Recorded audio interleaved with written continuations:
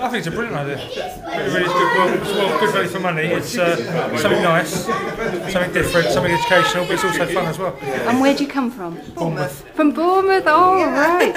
And did you come here specially for museums at night, or are you coming here? Completely only for the museums at night. Fantastic. How did you hear about it? Um, Result magazine. Result magazine. Oh right.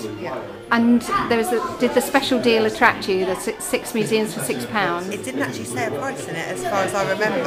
It was just the museums at night. Um, come and see all the museums for a special price. And um, I rang up. I rang Dorset County Museum, and they told me the price. But we just wanted something nice to do with your children in the evening. Because I mean, we're, we're not drinkers anyway. We don't drink, so it's something you could do. He loves museums. Um, yeah, it's just something for a Saturday night, and we, we made not- use of the cock offer up. for the um, dinner as well. So we had meal out as well. And what would you give it out of ten tonight? Oh, I'll let you answer that. yeah, I'll let you answer that one. Nine. Nine. Nine. We Why would you give, give it couldn't such fit a all of them in in the time, could we? It's probably, That's due to the distance we've got but to that's because of the distance we have to come.